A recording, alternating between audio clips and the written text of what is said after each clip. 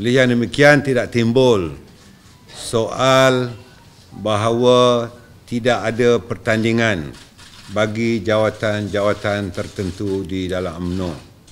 Malah Datuk Seri Hisham dan saya secara berlapang dada dan berfikiran terbuka mahu supaya jawatan ini ditandingi oleh siapa saja yang berkelayakan dan mengikut peraturan yang telah ditentukan.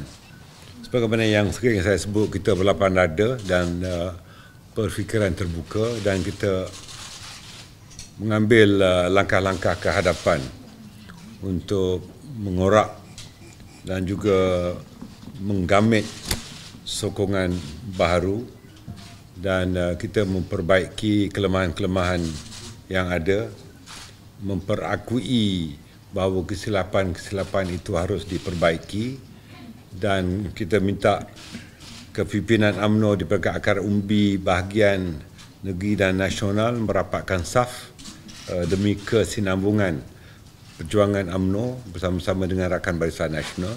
Dan kita yakin dari beberapa pengalaman negara-negara yang uh, mengalami situasi yang sama dengan uh, UMNO dan Barisan Nasional akhirnya bangkit semula.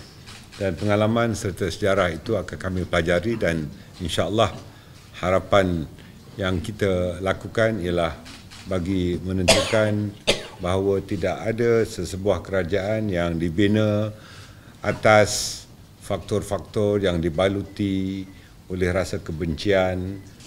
Saya juga ingin menyebutkan bahawa Majlis Setinggi mengucapkan tahniah uh, kepada pembentukan kabinet baru uh, Tun Dr. Mahathir dan uh, mereka telah pun mengangkat sumpah dan juga mula menjalankan tugas.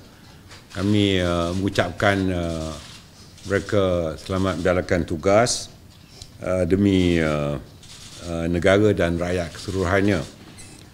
Kami di dalam uh, UMNO tentunya akan memerhatikan setiap langkah dan uh, tindakan-tindakan kerajaan baharu ini dan tentunya kami sebagai pembangkang akan membangkang secara konstruktif dan melihat pelaksanaan dan pelunasan semua janji-janji yang termaktub di dalam manifesto pilihan raya yang telah dikemukakan oleh mereka.